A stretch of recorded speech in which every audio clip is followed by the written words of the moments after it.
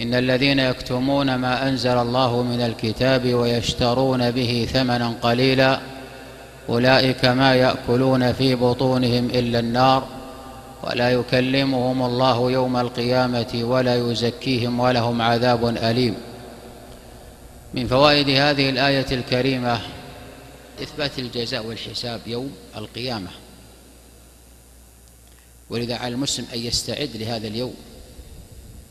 يستعد بماذا بالأعمال الصالحة ولا سيما مثل هذه المواسم الطيبة التي تمر بالإنسان عليه أن يستغل هذه الأوقات الفاضلة الشريفة. على الله عز وجل أن يرفعه درجات وأن يكفر عنه السيئات.